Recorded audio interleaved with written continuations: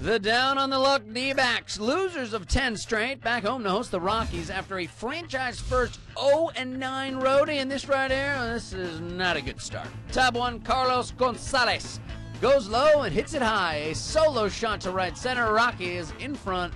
One zip, bottom half now. Justin Upton and the D backs will answer. As Upton, maybe he did it, maybe it's over. It's a good point now. Diamondbacks had gone 31 innings without scoring a run.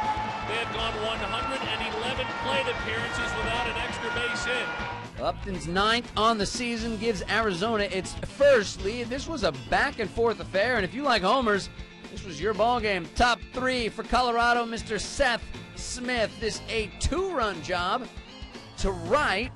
So Colorado retakes the lead. They're now in front 3-2. Skip all the way to the top of the sixth. It's now 3-3. More homers. Ian Stewart also to right.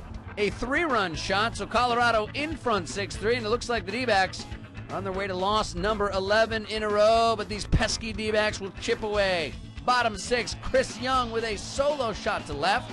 So it's a two-run ball game now. Rockies in front, 6-4. We go to the ninth. It's now 6-5, and here come those pesky D-backs. Gerardo Parra, an RBI single. This will tie the ball game as Edwin Jackson scores. It is 6-6 from Arizona. That sets up Ryan Roberts with a chance to be the hero. Hard